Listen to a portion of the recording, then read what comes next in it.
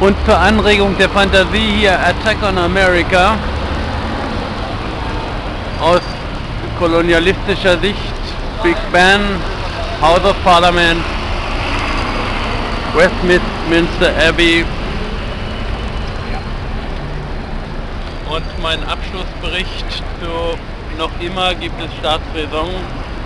Januar des Jahres 2002 nach dem Attack on America 9-11 ein Abschlussbericht. Heutige Staatsräson ist die Staatsklugheit, die dem Staatswohl und seinen Lebensgesetzen zu dienen hat.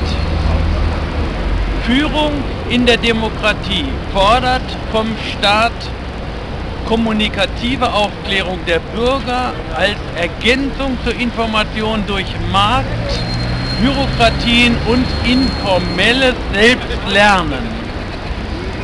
Nur im Bewusstsein von Wissen und Wissenslücken können freie Bürger im Konflikt die innen- und außenpolitischen Kompromisse zwischen Eigensinn, Recht, Moral und Staatsräson treffen und die Zersetzungskräfte im Untertanen- und Herrschaftsspiel balancieren.